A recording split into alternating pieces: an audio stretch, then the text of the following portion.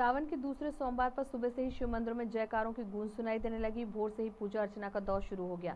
किला स्थित महामृत्युंजय मंदिर में भी सुबह से ही लोगों की लंबी कतारें भगवान के दर्शन के लिए उमड़ पड़ी। यह मंदिर शिव आस्था का सबसे बड़ा केंद्र है। कहा जाता है कि महामृत्युंजय मंत्र के जाप से अकाल मृत्यु को टाला जा सकता है और अल्प आयु, दीर्घ आयु में बदल जाती है। महामृत्युंजय मंत्र के जाप से सुख संपत्ति, धन धान्य की प्राप्ति होती है। भगवान महामृत्युंजय का दुनिया का इकलौता मंदिर मध्य प्रदेश के रीवा ज़िले में अनादिकाल से मौजूद है। ऐसा माना जाता है कि रीवा रियासत के इकलौते महामृत्युंजय मंदिर में एक हज़ार एक छिद्र वाला शिवलिंग है जो दुनिया में और कहीं नहीं है जिसकी पूजा अर्चना और यहाँ अभिषेक कई गुना फलदायी होता है। इसलिए यहाँ पर सावन में दूर दूर से श्रद्धालु पहुँचते हैं।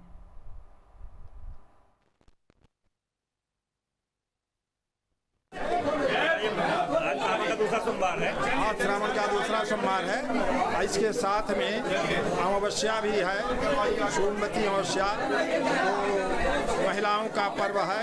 ये श्री वासुदेव में प्रतीक्षणा कर रहे हैं की कामना के लिए, शुभकामना के लिए प्रतीक्षण कर रहे हैं।